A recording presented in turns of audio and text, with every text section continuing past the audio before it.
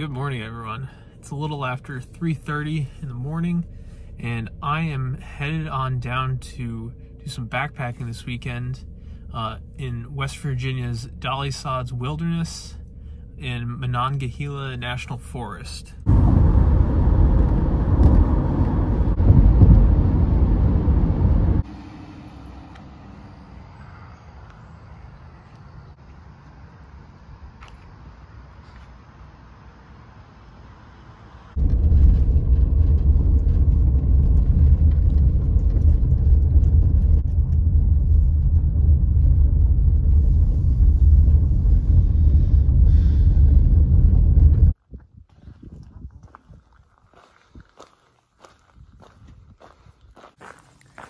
out on the trail. Um, yeah, I got my bag packed last night. Did most of the prep work then. Doing a short walk to get to the trailhead. I'm excited for this weekend because I'm trying out a few different things. Number one being I am hiking, or rather backpacking in trail runners, which I've never done before. Number two is I'm using smart water bottles. It's right there. They're lighter than the Nalgene's by a little bit. So see how that goes. And also my filter screws right onto the cap, so that's uh, convenient. And then number three, I am, this is my first time taking my new uh, quilt. It's like a sleeping bag, but it's quilt. Um, so I'm very excited for that. Just signed in. It's the Dolly Sod special.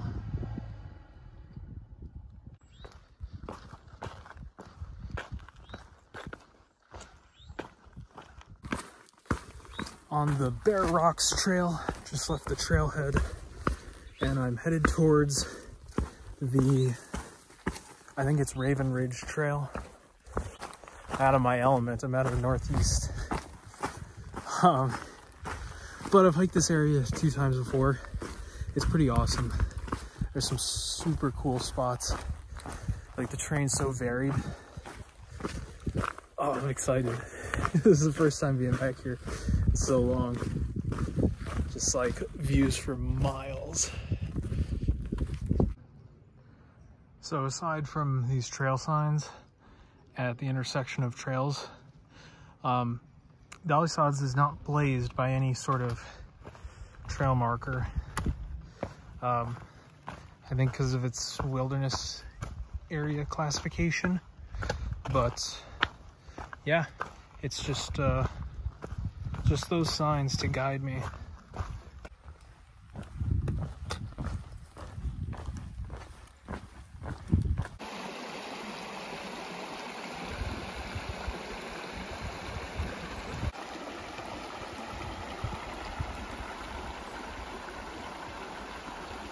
Made it across Red Creek without getting my feet wet. Now I got a little bit of a climb to get out onto the plateau again. Right when you cross the creek, there's a, a really nice campsite that I actually stayed at uh, both times I've been here before because it's a short hike in, perfect for like getting in late.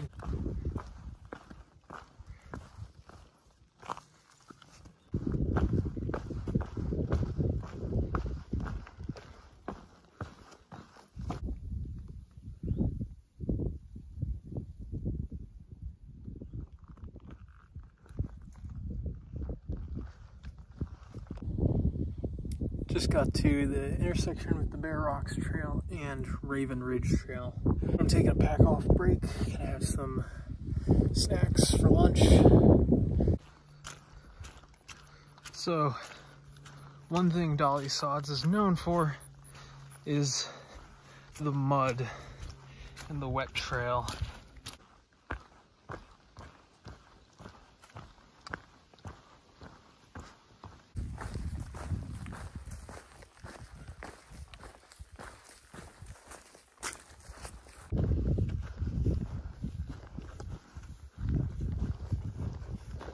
this is so awesome. Everything is so green. The wildflowers are out too. The trail has also been more or less a stream since I made the turn off onto the Raven Ridge Trail. And I know before I get to my campsite tonight that there's one other like probably flooded out section, like completely flooded out section. Just got to the trail intersection with the Dobbin Grade Trail that I will be following for a little bit until I get to the Upper Red Creek Trail, I believe it is.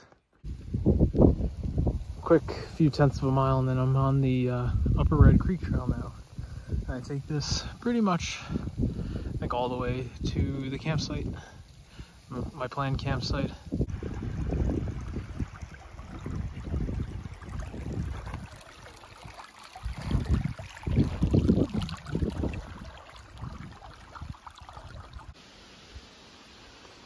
There's really no point to trying to avoid any mud.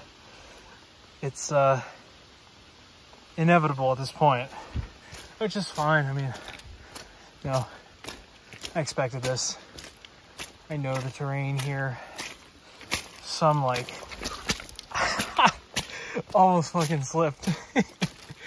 oh, funny.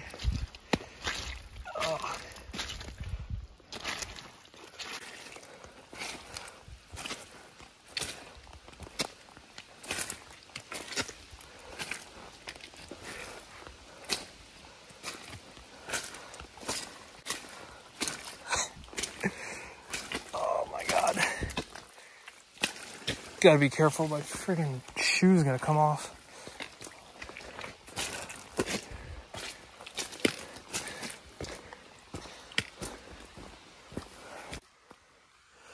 I'll say now that I've surrendered myself to uh, the mud, hiking is just easy because I can like freaking walk straight through it and not care. I'll be near water tonight, so it'll be good. I can kind of like wash off because uh, don't really want to climb into my sleeping bag with uh, all this crap on me. Just about six miles in, and I'm at the intersection between the Blackbird Knob Trail and the Red Creek Trail that I will take down to uh, Red Creek. Um, I'm probably like a mile, a little over a mile to where I'm originally planning on camping. We'll see how I feel getting down there. Um, if I was to push on further to the campsite that I'm thinking about, I'd have to do like a six tenths of a mile downhill to get to, which is not bad, but I'd have to reclimb it in the mornings. This is the section that I remember that is flooded. The good thing is that I do not care that my feet get wet um, because they're already soaked. So I'm just gonna go through this. No use even trying. I remember coming through here, I think the November trip that I did over here, like desperately trying to avoid all this. And uh, it's not possible. But the bright side is that my shoes got cleaned off a little bit, just in time to get more mud on them.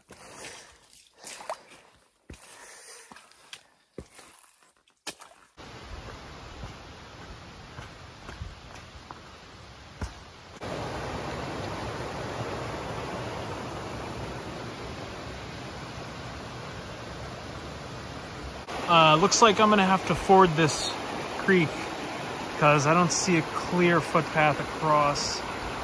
So, and also my legs are wet already, so it doesn't even matter. So, not that bad. Got my shoes cleaned off. The water felt great. Only went up to about almost my calf. But current wasn't strong, so that's good.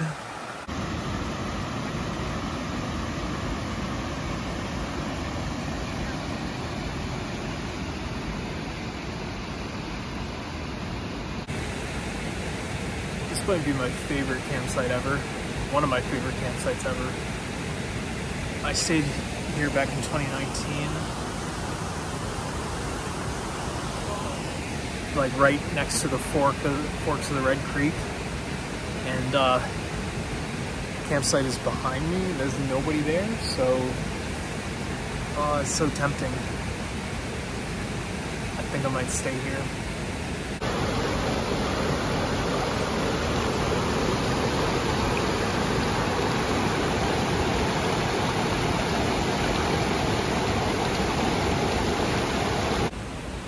Right, it's three o'clock and I am going to call it. I'm gonna stay at my intended campsite at Forks of the Red Creek. First thing I'm gonna do is get my tent set up right here and then I'm going to clean off because I am very dirty. But literally like tent goes there and yeah. All right, let's see the contrast between dirt and clean skin. Oh yeah.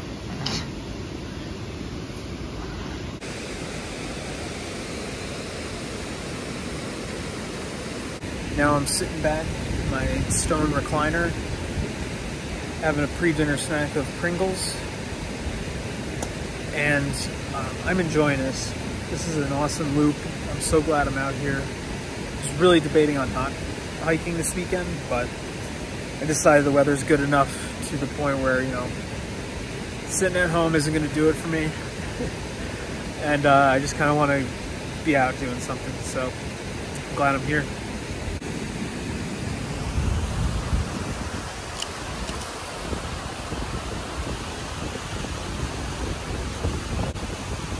That might have been the first time I did that in like 15 years. I am tired. I might take a nap. Also, I got up at like 3 today, so that could probably be why I'm feeling tired at, uh, I don't know what time it is right now. It might be like 4, that's my guess. I think I'm probably going to retreat to the tent and, and nap for a little bit. So it's about 7 o'clock right now. Um, I slept for a good, like, maybe two and a half hours, maybe a little bit less. Um, it was one of those naps where you like wake up and you're disoriented, um, and it's later than you'd want. But uh, either way, I'm up and I'm making dinner right now. It's cooled down significantly. I think it's supposed to get down into the upper 40s tonight, which is nice. I'm all for that. Love the colder weather.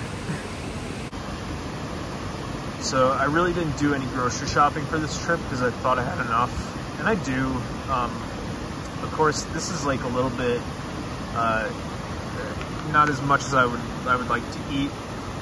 It's 440 calories per package. It's a little bit low.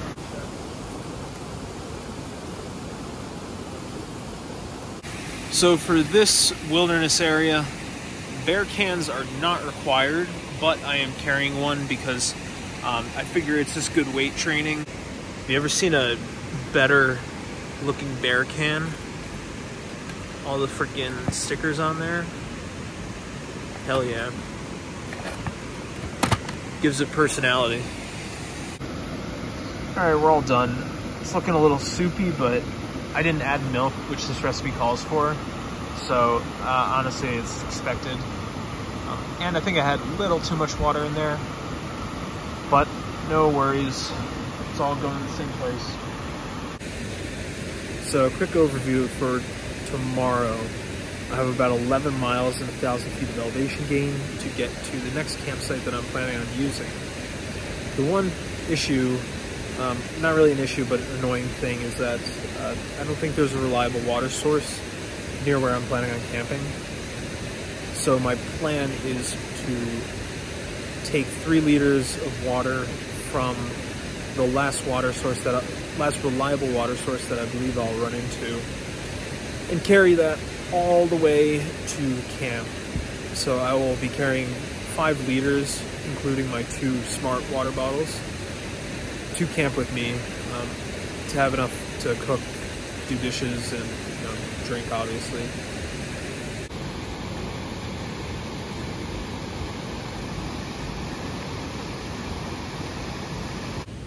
I'm all tucked in, ready for bed. Got my clothes pillow right there. Got my quilt, which is so comfortable. It's down, so it's, oh my God. I like treated myself because I move around when I sleep and I also sleep on my stomach.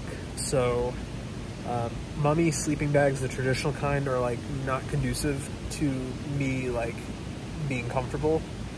And I kind of just figured that out. So um, this is like I took my nap. I like was under this. It was so nice. Oh my god. End of day one at Dolly Sods. And this place is so much fun to backpack through. The terrain, once you get past the mud, is, is relatively easy and the scenery is just so unique for this area of the East Coast. Just like the open fields and, and whatnot.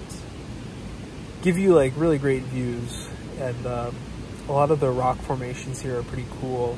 There's a lot of windswept rock. So I'll be able to see a little bit more of that tomorrow as well.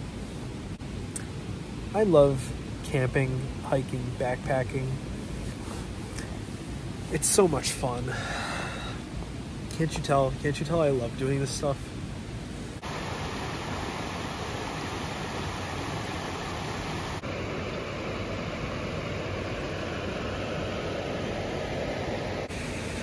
Started day two here at Dolly Sods and uh, had a good night's sleep. It got down into the 40s, definitely, but I was more than comfortable under my uh, under my quilt that I have. So it's a success right there. Got some coffee and oatmeal, some granola, maybe a Pop-Tart if I feel like it.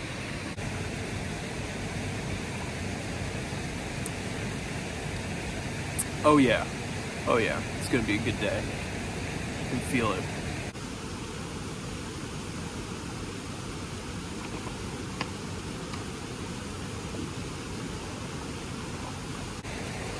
All right, all packed up and ready to go. Unless it's 9.15, so time to head out onto the trail. Intersection with the Breathed Mountain, breathed. English is confusing. Um, trail. I'm not taking that one. I'm taking the Red Creek Trail, and then I'm continuing along the Rocky Point Trail. This stretch of trail is so pretty. It's like a mix of pine trees and rhododendrons. It has a, it's like a weird feel. This is the Rocky Point Trail for a reason. Uh, trails just kind of started to turn into this. Just got to the turnoff for Lion's Head. So it's a short scramble up to there. And then I don't know where the view of the lion's head is. So in essence, it's a rock formation that looks like a lion's head. Um, I didn't see that the first time I was up there, but hopefully I'll be able to this time, or I'll at least know where to look.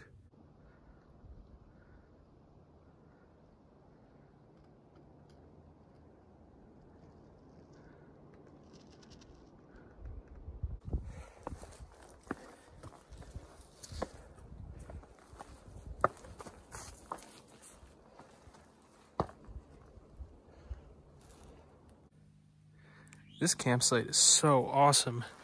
It's like surrounded by these rhododendrons and uh, it's like enclosed.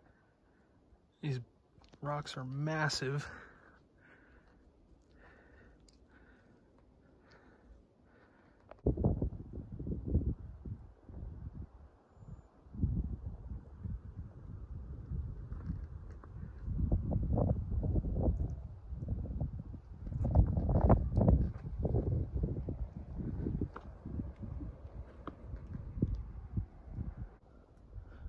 That's the lion's head. I think it's viewed better from above. I scrambled down here to get a better view, but I'm gonna have to go back up to my pack and then it looks a little bit more like a lion's head.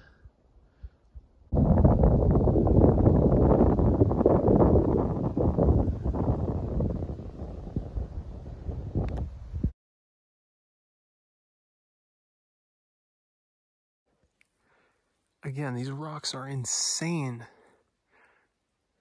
Damn.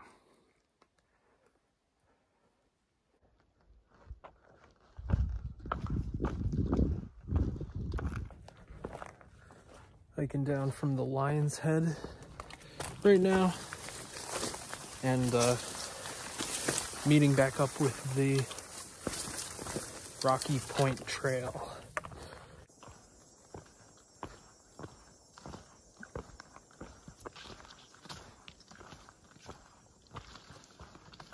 Just intersected the Rocky Point Trail. So my next checkpoint is the Big Stone Coal Trail. Trail junction with the Big Stone Coal Trail. And uh, I continue up. And uh, eventually I think I intersect with the Blackbird Knob, no, the Breathed Mountain Trail. Breathed, maybe.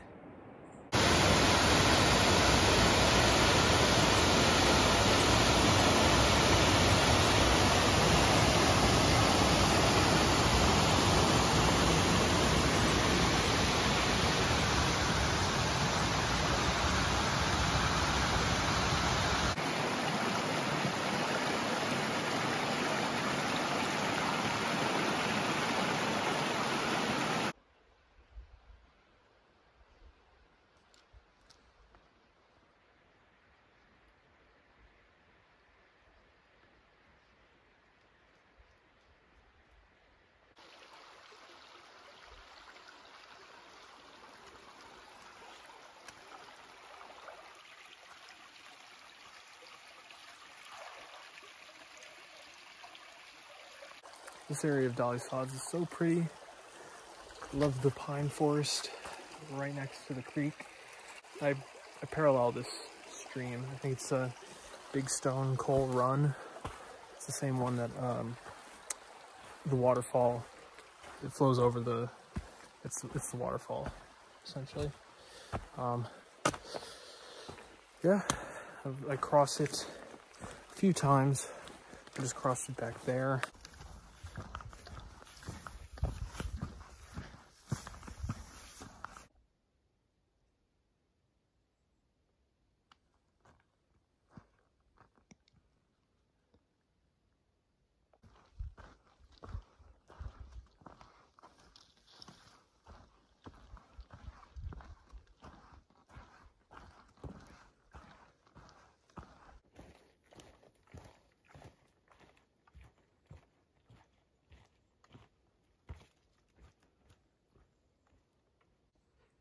All right, just stopped and filled up both water bottles.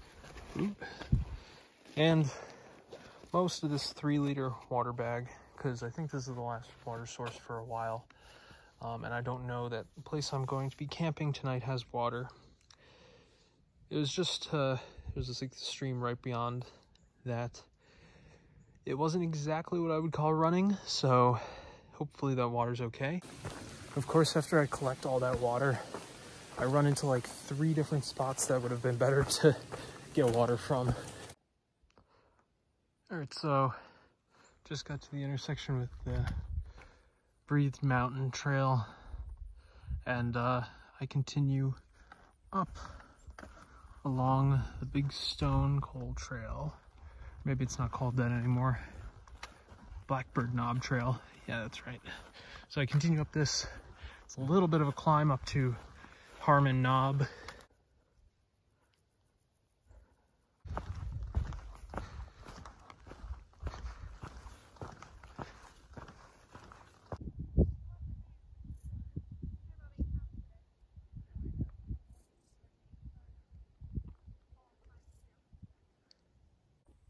Thought it was an appropriate spot to have a lunch break with that view and also this bench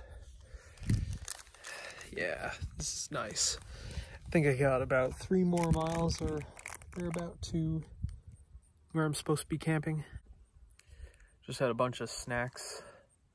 I'm about to drink a little bit more water. And then I sunscreened up because hopefully I'm not going to get burned. It's definitely the right environment to get burned in. up at like 4,000 feet. Not much shade, but uh, we'll see.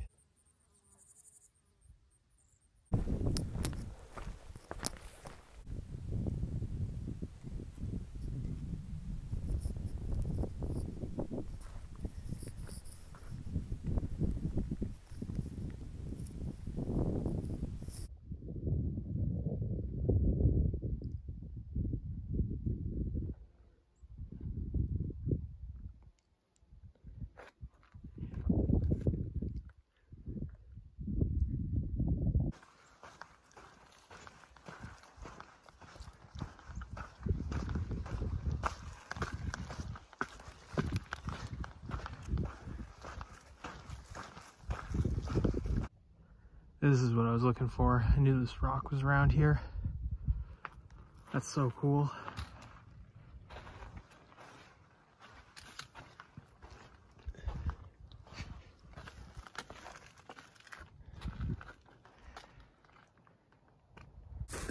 All right, I think I have maybe two more miles until I get to camp, where I'm planning on camping. So, just gonna crank this out, enjoy the scenery. I think I'll probably be there in two hours. Views for days. Pretty awesome. Should be turning off onto the Raven Ridge Trail, I think it is. I'm not entirely sure. All I know is I'm turning to the right in a little bit.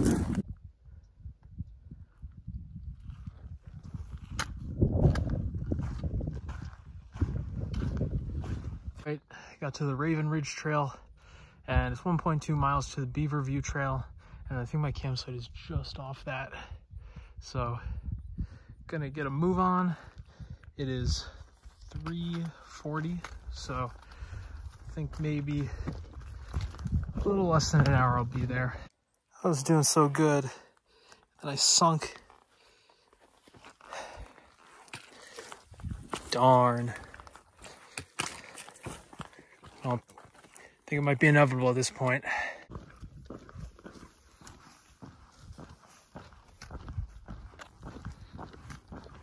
And I found this spot tucked away. And uh, I think this will be camp tonight. It's a nice open field over there. That's cool. But uh, I'll set my tent up somewhere over here. It, not too bad, but not great either. Unfortunate thing is I don't have a stream to wash off in. So maybe if I have some extra water, I'll uh, use that.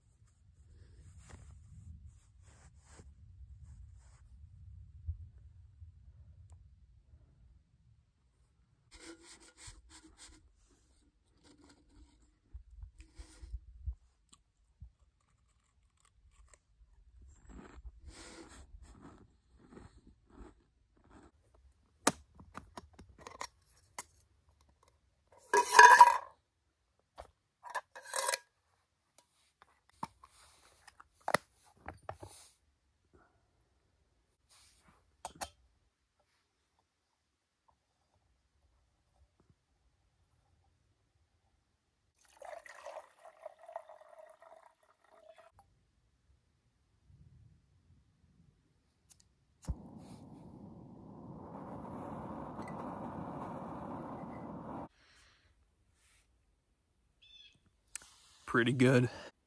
It's like a Walmart brand, but you know, Walmart's had like pretty good mac and cheese. Like they have like different cheese blends, flavors, I guess, types. Um cuz this one's like Gouda and uh Kraft only has like the freaking regular one in the Parmesan or I forget what it is. But um this this one's pretty good. I would add some like chicken. Um but I didn't go shopping for this trip, so um chicken. It's like good to add like bacon too, like the pre-cooked stuff. Already finished up dinner, cleaned up, and distributed the last of my water. I have two liters over there. Uh, nothing left in the bag, so um, that should be enough, more than enough for the two and a half mile hike out tomorrow.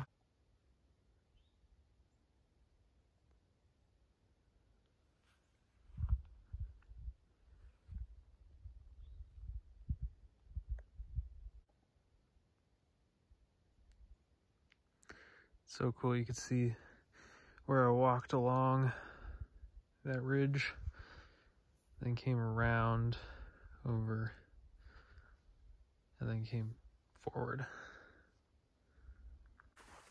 Walking back to camp, going to get the rest of my tent set up because I need to put the rain fly on. And then, yeah, gonna enjoy the last night here. Look at how tucked away and cozy this campsite is. It's like so dark in here.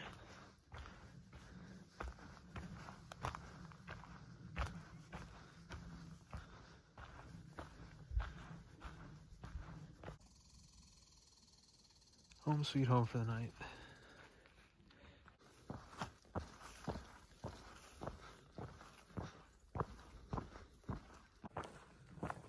All right, packed up pretty quickly. It's about 7.45 and I am on the move.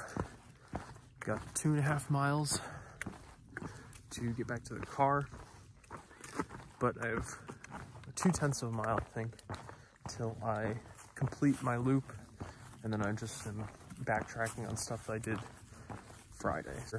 Really didn't get that cold last night. It was maybe down into the 50s, but I was warm.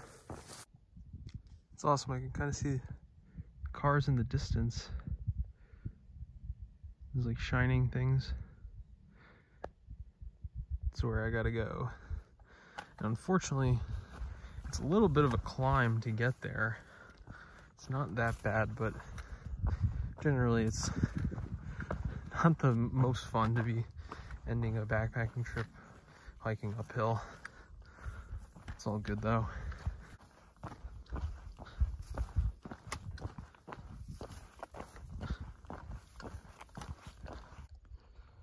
Okay, loop is complete.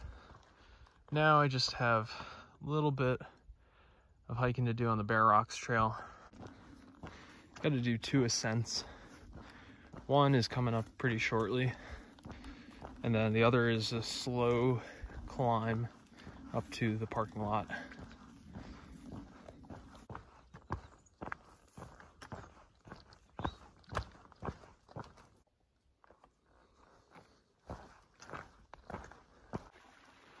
So back at the Red Creek crossing I did a few days ago, looks significantly drier because I, I didn't, I don't think there was that bridge of rocks. Last stretch of trail, I can see the cars in the distance and I kind of just ducked behind that uphill. But uh, yeah, I would say probably a little less than a half mile, maybe half mile to go. And we're back at the trailhead. I just have a little bit more to go to get down to my car over there. Other than that, it's done. Dolly Sods Loop. It was a good one. said it like a million times, but so glad I was able to get out here again uh, totally different like experience than the previous two times. So I'm happy. I'll also be happy to um, go get some coffee. Back at the car, all packed up and ready to go. So it was a great weekend, um, awesome place, and uh, yeah, if you watch, thank you for watching. So see you in the next one.